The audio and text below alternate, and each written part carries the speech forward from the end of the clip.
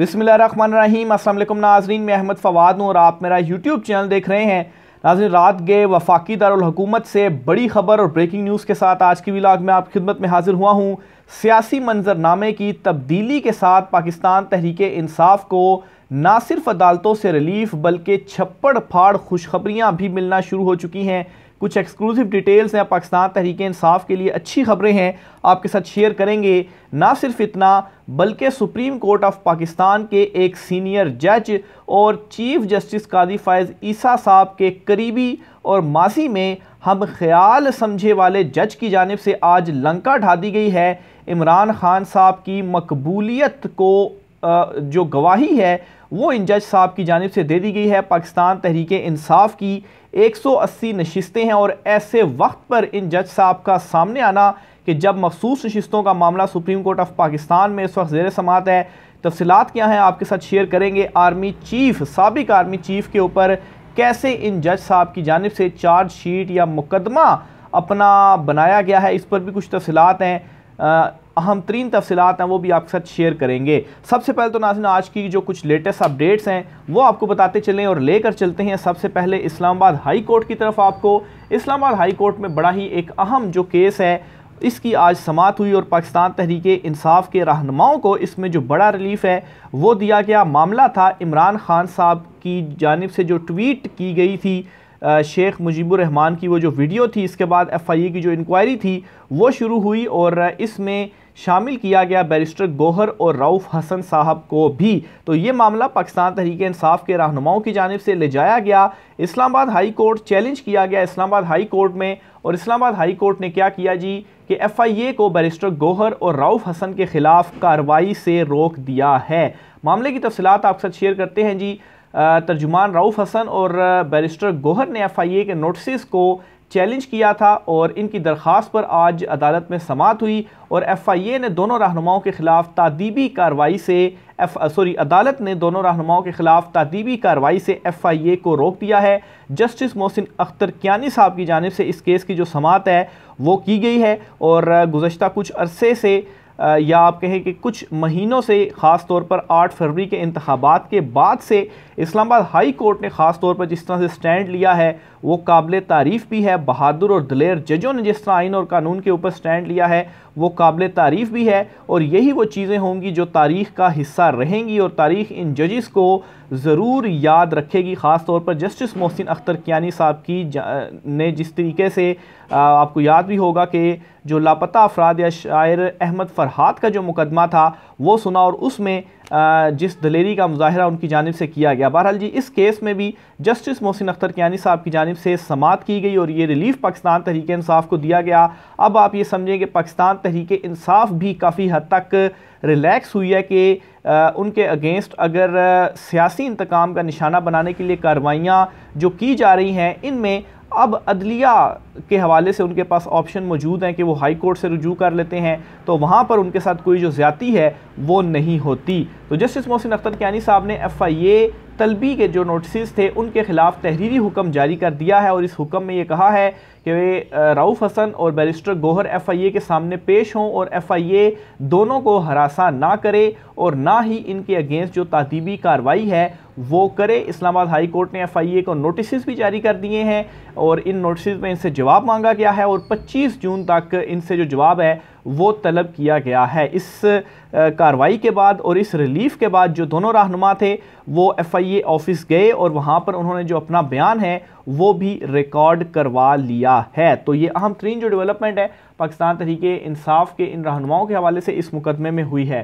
دوسری طرف ناظرین، اسلام آباد ہائی کورٹ سے ہی ایک اور اچھی خبر ہے اور یہ اچھی خبر ہے، اسلام آباد ہائی کورٹ کے چیف جسٹس عامر فاروق صاحب کی عدالت سے۔ اچھی خبر یہ ہے جی کہ عامر فاروق صاحب کی جانب سے یہ کہا گیا ہے کہ عدالتی کاروائی کی رپورٹنگ پر کوئی پابندی نہیں ہے۔ انڈائریکٹلی پیمرا کی جانب سے ججز کے اوپر یہ پابندی لگا دی گئی تھی، کیونکہ بظاہر تو یہ تھا جی کہ صحافیوں کے اوپر پابندی لگی ہے، لیکن اصل میں یہ ججز کے اوپر پابندی تھی اور وہ ایسے کہ ججز کی ریمارکس یا ججز کی عدالت میں کیا ہو رہا ہے، وہ رپورٹ نہیں ہوگا، وہ عوام میں نہیں جائے گا، عوام کو انفارمیشن نہیں ملے گی اور یہ سارا کچھ رپورٹ کون کر رہا ہوتا ہے؟ صحافی ہی رپورٹ کر رہے ہوتے ہیں۔ تو اصل میں اگر اس کو دیکھا جائے تو انڈائریکٹ ہی صحیح، لیکن یہ ججز پر جو پابندی تھی وہ لگائی گئی تھی۔ بہرحال جی پیمرا کا جو نوٹیفکیشن تھا، وہ چیلنج کیا گیا اور اس میں چیف جسٹس اسلام آباد ہائی کورٹ عامر فاروق صاحب نے اقرار دیا ہے کہ عدالتی کاروائی کی جو رپورٹنگ ہے، اس پر کوئی پابندی نہیں ہے اور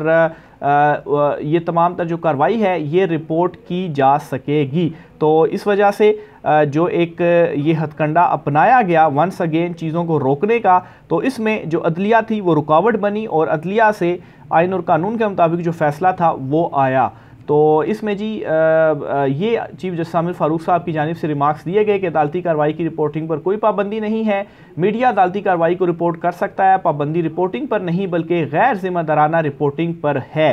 تو وہ تو ذرسی بات ہے، غیر ذمہ دارانہ رپورٹنگ کو تو ہم خود کنڈیم کرتے ہیں کہ جو عدالت میں چیزیں ہو رہی ہیں، آپ کو وہی باہر آ کر بتانا چاہیے۔ تو یہ دوسری بڑی اچھی خبر تھی جو کہ اسلام آباد ہائی کورٹ سے سامنے آئی ہے۔ اب میں بڑھتا ہوں ناظرین سپریم کورٹ آف پاکستان کی جانب، جہاں جسٹس اختر من اللہ صاحب کی جانب سے جو سٹینڈ لیا گیا، سب سے پہلے ہم نے دیکھا کہ یہ جو چھ ججز تھے اسلام آباد ہائی کورٹ کے جنہوں نے لیٹر لکھا، ان کے حوالے سے جسٹس ستر اللہ صاحب نے بہت سٹینڈ لیا اور کھل کے ان کے حوالے سے وہ سامنے آئے اور اب مخصوص نشستوں کا معاملہ ہو یا عمران خان صاحب کو براہ راست دکھانے کا معاملہ ہو یا نیب ترامیم کا معاملہ ہو، اس میں بھی جسٹس اتر من اللہ صاحب جو ہے وہ کھل کر سامنے آ گئے ہیں اور دیوار بن کر اس وقت وہ سامنے کھڑے ہو گئے ہیں۔ عمران خان صاحب کو جو براہ راست نہیں دکھایا گیا گزشتہ سماعت میں، جو چار ایک سے فیصلہ آیا تھا جسٹس اتر من اللہ صاحب کا اس وقت بھی یہ فیصلہ تھا کہ عمران خان صاحب کو براہ راست دکھایا جانا چاہیے، لیکن چار ججز ایک طرف تھے، تو اس کا اختلافی نوٹ جاری آج ہوا ہے جسٹس اتر منلہ صاحب کا، لیکن اس اختلافی نوٹ کے اندر نہ صرف عمران خان صاحب کو براہ راست دکھانے، بلکہ دیگر بھی بہت ساری جو باتیں ہیں وہ اس میں لکھی گئی ہیں اور ایک پوری چارج شیٹ ہے اور آپ کہیں کہ اس وقت پاکستان تحریک انصاف کے جو کارکنان ہیں یا عوام کے دلوں کی باتیں جو شاید وہ اس طرح سے کر نہیں پا رہے، وہ جسٹس ستر ملا کی جانب سے اس اختلافی نوٹ کے اندر لکھی گئی ہیں۔ عمران خان عام مجرم یا قیدی نہیں ہے الیکشن سے ثابت ہو گیا کہ ان کے لاکھوں سپورٹرز ہیں۔ تو یہ جو کہہ رہے تھے جی کہ مقبولیت نہیں، مقبولیت کے ساتھ قبولیت بھی چاہیے ہوتی ہے، تو عمران خان صاحب نے ان کو پروف کر دیا کہ قبولیت والا جو سلسلہ ہے، وہ اب ختم ہوگا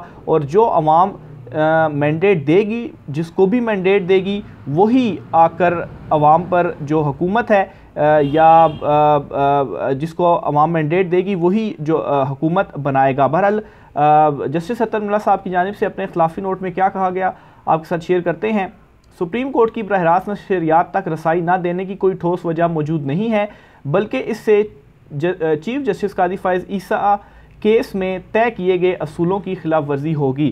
اچھا جسٹس قاضی فائز عیسیٰ اس وقت چیف جسٹس نہیں بنتے تھے، ان کے اوپر وہ جو مقدمہ تھا اس حوالے سے کچھ رولز وغیرہ طے ہوئے تھے آزادی اور ان کے حوالے سے، تو اس کا انہوں نے جو حوالہ ہے وہ دیا۔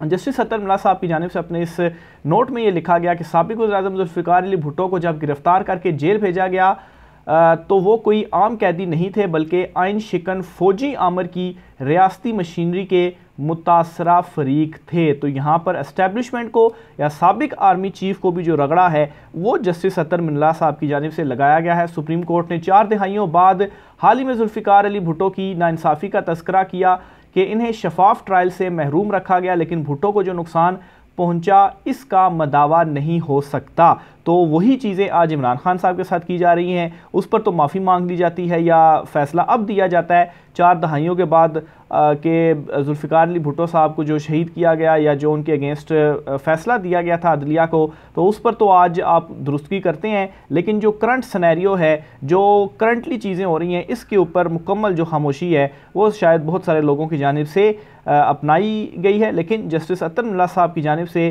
یہ خاموشی دبنگ انداز میں توڑی گئی ہے۔ اچھا جی انہوں نے مزید یہ بھی کہا جی کہ حیرانی کی بات ہے کہ ایک اور سابق وزیراعظم کے خلاف متعدد ٹرائلز چلائے جا رہے ہیں، جن میں سے کچھ میں انہیں سزا ہو چکی ہے۔ حالیہ عام انتخابات سے ثابت ہوا کہ بانی پی ٹی آئی کے بھی لاکھوں سپورٹرز ہیں، وہ کوئی عام مجرم یا قیدی نہیں ہے تو میرے خیال سے یہ ان لوگوں کے لیے بھی جواب ہے جو یہ کہتے ہیں کہ عمران خان صاحب کو جو ہے وہ کوئی دس پرسنٹ لوگوں نے بھی ووٹ نہیں دیا۔ تو جسٹس ستن اللہ صاحب انتخابات کے حوالے سے یہ گواہی دے رہے ہیں کہ عمران خان صاحب مقبول ہیں، عمران خان صاحب کے ووٹرز ہیں اور عمران خان صاحب بھی یہی کہتے ہیں، پاکستان تحریک انصاف کا بھی یہی موقف ہے کہ ان کی دو تہائی اکثریت بنتی ہے، فارم فورٹی فائیو ان کے پاس موجود ہیں، ثبوت موجود ہیں، عدالتوں میں کیسز ہیں اور دم دبا کر بھاگ رہے ہیں اس وقت جو مخالف امیدوار ہیں۔ اسلام آباد کے تین حلقوں میں تو اگزامپل سامنے آ گئی ہے کہ تینوں الیکشن ٹریبیونل سے بھاگے ہیں اور الیکشن کمیشن پہنچے ہیں کہ جج صاحب حق پر مبنی فیصلہ کر رہے ہیں، انصاف پر مبنی فیصلہ کر رہے ہیں، تو ہماری نشستیں تو چھین جائیں گی۔ تو برائے مہربانی چیف الیکشن کمشنر صاحب ہمیں آپ جو ہے وہ یہ ہمارا کیس سنیں۔ انہوں نے مزید لکھا ہے جی جسٹس ستر ملا صاحب نے اپنے نوٹ میں کہ منتخب عوامی نمائندوں کی تضحیق اور ان کو ہراسا کیے جانے میں عدلیہ کا گٹ جوڑ رہا۔ یہ تاثر ہے کہ اسٹیبلشمنٹ اور عدلیہ کے گٹ جوڑ کی وجہ سے منتخب عوامی نمائندوں سے بدسلوکی کی جاتی ہے۔ تو یہ وہ چارج شیٹ ہے جس کا میں ذکر کر رہا ہوں، اس میں جسٹس ستر نرا صاحب نے بھی تاثر کا حوالہ ضرور لیا یعنی کہ ڈائریکٹ انہوں نے نہیں بات کی۔ انہوں نے یہ کہا جی کہ یہ تاثر ہے کہ اسٹیبلشمنٹ اور عدلیہ کے گھٹ جوڑ سے جو منتخب عوامی نمائندے ہیں ان سے بدسلوکی کی جاتی ہے۔ لیکن ایٹ لیسٹ جسٹس ستر ملا صاحب نے اس چیز کو اکنالج کر لیا اور اپنے اس اضافی نوٹ کے اندر انہوں نے تحریر بھی کر دیا۔ انہوں نے کہا جی کہ نیب قانون فوجی عامر نے سولہ نومبر انیس سو ننانوے کو نافذ کیا، جس کے ذریعے سیاستدانوں کو انتقام کا نشانہ بنایا گیا۔ مسلسل یہ الزامات لگتے رہے ہیں کہ نیب سیاسی انجینئرنگ کے لیے استعمال ہوتا رہا۔ غیر امتیازی سلوک کی وجہ سے عوام کی نظر میں نیب کی ساکھ اور غیر جانبداری کو شدید نقصان پہنچا۔ تو ایک تو انہوں نے جی سابق آرمی چیف صاحب کے اوپر بھی یہ جو چارج شیٹ ہے وہ لگائی ہے اور اپنا جو مقدمہ ہے وہ سامنے رکھا جی کہ ایک عامر نے یہ قانون بنایا، سیاسی انجینئرنگ ہوئی اور سیاسی انجینئرنگ کی جا رہی ہے، یہ بھی الزامات ہیں۔ اور اس سے نیب جو اپنی ساکھ ہے، وہ بھی عوام کی نظر میں کھو چکا ہے، لیکن یہاں پر سوال پھر بھی یہ اٹھتا ہے کہ نیب یہ سب چیزیں تو کر رہا ہے، لیکن آخر نیب کس کے کہنے پر یہ جو تمام تر چیزیں ہیں وہ کر رہا ہے۔ بہرحال جی جسٹس ستر اللہ صاحب نے ایٹ لیسٹ یہ جو چیزیں اس وقت ہوتی ہوئی نظر آ رہی ہیں، اسے اضافی نوٹ کے اندر اپنے آج شامل کر کے یہ جاری کر دیا اور اس اضافی نوٹ کے بعد اب بہت ساری جگہوں پر زلزلہ اس وقت آیا ہوا ہے۔ آگے چلتے ہوئے آپ کو ایک اور خبر دیتا چلوں جی کہ الیکشن کمیشن آف پاکستان نے P T A intra party election case ایک مرتبہ پھر سے ڈی لسٹ کر دیا ہے۔ یہ پہلے تیس تاریخ کو مقرر تھا، پھر پانچ کو مقرر تھا اور اب دوبارہ سے کاز لسٹ ڈی لسٹ کر دی گئی۔ تیس کو بھی ڈی لسٹ کی گئی، آج بھی ڈی لسٹ کی گئی۔ تو یہ الیکشن کمیشن آف پاکستان ہے۔ ایک طرف تو مسلم لیگ نون کے جو تینوں رہنما ہیں، وہ الیکشن ٹریبیونل کے اگینسٹ جب رجوع کرتے ہیں تو ایک دن کے اندر ہی ان کی جو سنوائی ہے وہ ہوتی ہے، درخواستیں مقرر ہوتی ہیں اور نوٹسز بھی جاری ہو جاتے ہیں اور الیکشن ٹریبیونل سے ریکارڈ بھی طلب کر لیا جاتا ہے۔ لیکن اس طرف election commission of Pakistan case ہی نہیں سن رہا۔ تو یہ آپ جو دوہرا معیار ہے، اس سے وہ بھی سامنے آتا ہے کہ ایک طرف تو پھرتیاں دکھا رہا ہے اور دوسری طرف کوئی جو سنوائی ہے وہ بھی نہیں کر رہا۔ ہمیں ماضی کو بھلا کر آگے بڑھنا چاہیے۔ وزیراعظم شہباز شریف کی جانب سے یہ میسیج بھیجا گیا ہے۔ کس کے لیے میسیج تھا؟ عمران خان صاحب کے لیے میسیج تھا۔ وزیراعظم شہباز شریف بھی اب خود سامنے آ گئے ہیں۔ رانا ثناء اللہ، جاوید لطیف اور دیگر کے ذریعے جو انہوں نے پاؤں پکڑنے کی، عمران خان کے منت ترلے کرنے کی کوشش کی، ہمیں ڈیل دے دو۔ اس میں انہیں ناکامی کا سامنا ہوا، جس پر اب شہباز شریف صاحب جو ہیں، وہ خود سامنے آ گئے ہیں۔ بہرحال اس پر صدر عارف الوی کی جانب سے انہیں جواب دے دیا گیا ہے کہ بات ہوگی تو گھر کے مالک سے ہوگی، مالی یا باہر کھڑے ٹھیکے والے سے نہیں ہوگی۔ سابق صدر ڈاکٹر عارف الوی کی جانب سے یہ کہا گیا ہے۔ تو شہباز شریف صاحب، آپ تو مالک نہیں ہیں، آپ تو چنتخب ہیں، تو آپ سے کیسے بات ہوگی؟ یا کسی مالی کے ساتھ یا کسی ٹھیلے والے کے ساتھ بات نہیں ہوگی؟ تو اس لیے آپ، یہ جو منت ترلا ہے، اسے کرنا آپ بند کر دیں۔ سنم جاوید کے حوالے سے بھی ایک خبر آپ سنتے جائیں جی کہ سنم جاوید کے ساتھ ابھی تک انہیں اچھا اصل میں ہراسہ کیا جانا یہ ہوتا ہے کہ سنم جاوید کو مسلسل ضمانتیں دی جا رہی ہیں عدالتوں کی جانب سے، لیکن ان کو ساتھ ہی جیسی ضمانت ملتی ہے تو اگلے مقدمے میں ان کو گرفتار کر لیا جاتا ہے۔ سنم جاوید سرگودا جیل سے رہائی کے بعد دوبارہ گرفتار ہو گئی ہیں جی۔ اور جیسے ہی سرگودا جیل سے ان کو رہا کیا گیا تو باہر نکلنے پر پولیس نے ان کو گرفتار کر لیا۔ اور اب سنم جاوید کو گجراوالا کینٹ پولیس نے جو ہے وہ نو مئی کے مقدمے میں گرفتار کیا جی کے مطلوب تھی۔ تو ایک سنم جاوید ہیں۔ اور پتہ نہیں بیسیوں شہروں میں ان کے اگینسٹ یہ نو مئی کے مقدمے نکل آتے ہیں۔ وہ ایک ٹائم پر کتنے شہروں میں ہوں گی جی؟ عالیہ حمزہ بھی گجراوالا پولیس کو مقدمے میں مطلوب ہیں اور وہ بھی سرگودا جیل سے آج ہی رہا ہوئی ہیں۔ عالیہ حمزہ کی گرفتاری کے لیے بھی گجراوالا پولیس سرگوتا جیل کے باہر موجود ہے جی ان کو بھی دوبارہ گرفتار کرنے کے لیے۔ تو اصل میں جی یہ ہراسہ کیا جا رہا ہے اب دیکھیں، اس پر جو نوٹس ہے، وہ اعلیٰ عدلیہ کب لیتی ہے یا پاکستان تحریک انصاف کو میرے خیال سے ایٹ لیسٹ اسلام آباد ہائی کورٹ میں اس معاملے پر بھی ایک پیٹیشن لے کر جانی چاہیے کہ ان کی خواتین کے ساتھ یہ کیا ہو رہا ہے، خاص طور پر سنم جاوید اور جو عالیہ حمزہ ہیں، وہ بھی بھی عمران خان صاحب کے ساتھ ڈٹ کر کھڑی ہوئی ہیں۔ لیکن ایک مقدمے میں وہ رہا ہوتی ہیں ضمانت پر، ساتھ ہی دوسرے مقدمے میں ان کو گرفتار کر لیا جاتا ہے۔ میرے خیال سے کوئی درجن مرتبہ تو یہ ہو چکا ہوگا کہ ان کی رہائی کے بعد ان کو گرفتار کیا گیا ہے۔ تو بہرحال دیکھیں آپ پاکستان تحریک انصاف اس پر کیا کرتی ہے، ابھی تک تو وہ خاموش ہی ہے۔ رائے گا سر کیجیے گا۔ آج کی ولاگ سے اتنا ہی، اجازت دیجیے۔ اللہ حافظ۔